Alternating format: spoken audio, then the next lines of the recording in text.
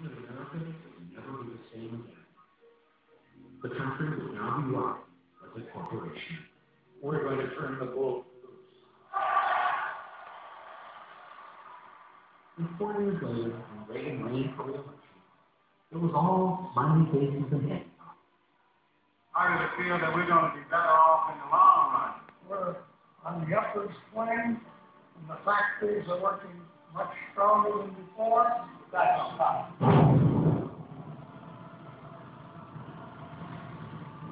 Actually, Reagan was the wholesale dismantling of industrial infrastructure.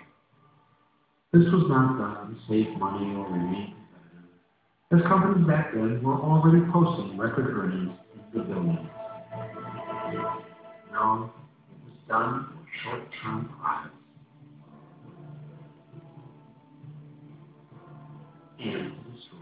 The unions.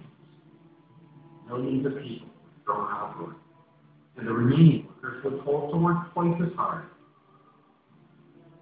But wages for workers remained frozen.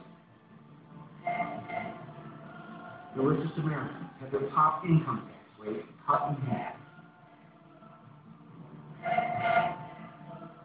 Instead of being paid a decent wage, they were encouraged to live on borrowed money until our household debt was nearly 100% of GDP.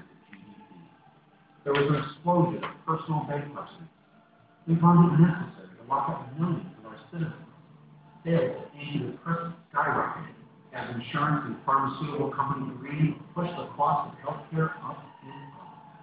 All of this was great news for the stock market and for America's CEOs.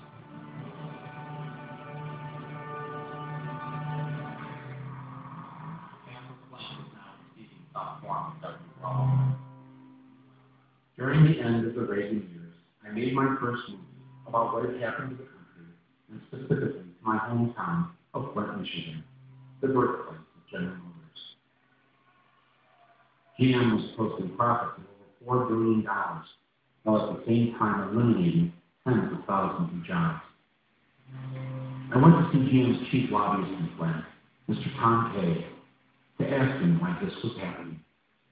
General Motors won't be doing anybody any service if it goes bankrupt.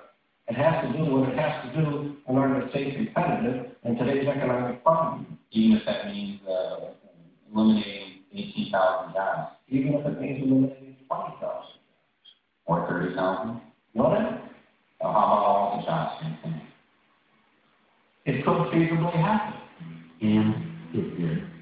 Nearly all the jobs were eliminated, and GM went bankrupt. Perhaps more distressing was the fact that the rest of America was now starting to resemble Flint, Michigan. But there were some cities that still took pride in good breeding.